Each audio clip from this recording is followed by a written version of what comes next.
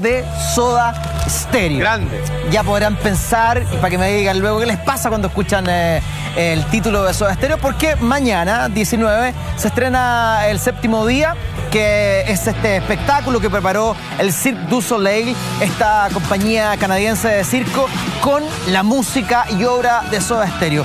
Una compañía que hasta aquí solo había hecho algunas excepciones en, su, en sus funciones circenses y había hecho eh, shows con ciertos cantantes de envergadura mundial.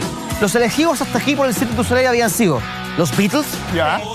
Elvis Presley. Michael Jackson Sí. y por primera vez una banda latina, Bien.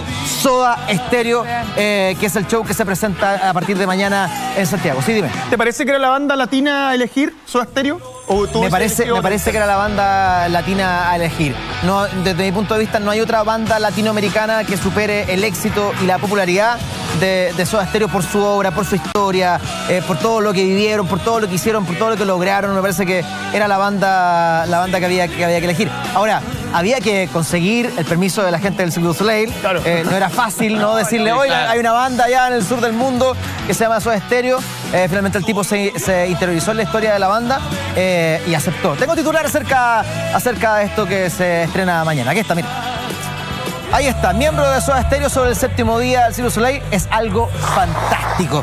Fíjense que mm, está escrito y dirigido por Markel Laprise eh, y todo, por supuesto, la- con la supervisión del mandamás del Cirque du Soleil. Los Sodas tuvieron que viajar a los cuarteles generales en Canadá de, de la compañía eh, para un poco participar en la génesis de esta Maestro. historia y ver cómo encajaban la música de Soda Stereo en esta historia que tuviera sentido. Absolutamente. En realidad, ¿qué es esto? ¿Es un, cir- es un espectáculo circense con música de Soda? Claro, musical. ¿O es Soda Stereo llevado a un espectáculo circense? Es ambas, maestro. Las dos cosas que usted acaba de decir. Y ninguna. Es.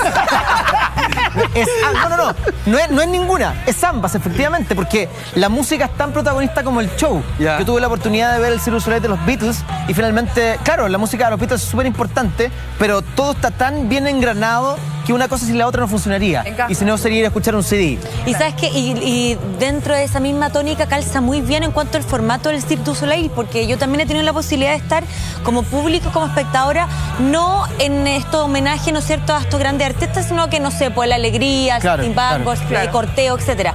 Pero la música es muy importante, es muy protagonista, es música en vivo, eh, y la verdad que los músicos obviamente agarran un papel protagónico y ahora muchísimo más, entonces calza dentro de un formato Ahora, que a a la gente diferencia- le gusta y está acostumbrado a ver. A diferencia de los circos normales del Circo Soleil, donde generalmente la música es instrumental, cuando es eh, dedicado a una banda o a un artista, Claro. las letras tienen, tienen cierto, cierto protagonismo. Se construye una historia, no a partir de las letras de las Qué canciones lindo. que van unidas de cierta forma, que te van hilando una historia. Perfecto. Zeta se refirió a este fantástico show del du Soleil. Mire.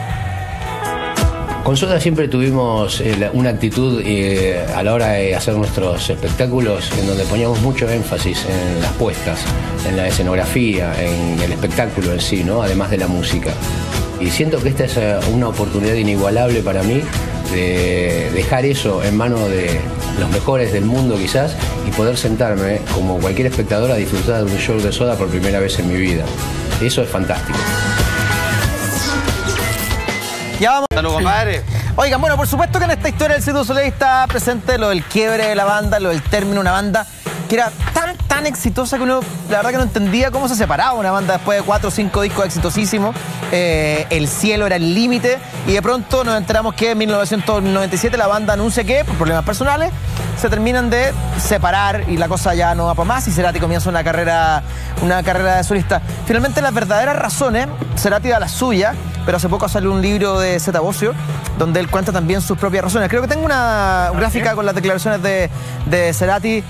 De- las de Z primero tengo las de Z de, que habla acerca del quiebre. Mira, no, son las de Gustavo, tenía razón. Cualquiera sabe que es imposible llevar una banda sin cierto nivel de conflicto. Es un frágil equilibrio en la pugna de ideas que muy pocos consiguen mantener. Eh, bueno. Súmenle eso a que, Cerati. a que Cerati ya se había casado con una chilena, pasaba la mitad del tiempo en Chile, el resto de los músicos quedaba allá. Mira, tengo más declaraciones por 15 años, pero últimamente diferentes desentendimientos personales y musicales comenzaron a comprometer ese equilibrio. Gustavo Cerati. Pasó, pasó que a lo mejor Cerati Cerati le sacó muchas ventajas al resto de sus compañeros y de ahí decide hacer esta carrera solista. No, y era, no me malentiendan, no lo creo, no lo digo en mala onda, pero era un poquito cabroncillo también, era el, era el, autor divo. de, todas las letras, entonces él decía, ¿saben qué cabrón? Yo me voy a ir a Chile dos años, voy a hacer otros proyectos, plan B, no sé qué, y el resto se quedaba esperando así como hasta que él se le ocurriera volver No, con la pues, banda, Cerati es tan entonces... bueno solo como Soda Stereo completo. Sí, claro, weón. entonces todas esas cosas empezaron finalmente a desgastar la relación. Sí. No quiero ser abogado del diablo, pero bueno, esto es mi opinión personal. Al igual que las películas de Michael Bay, el de Sí, Transformers,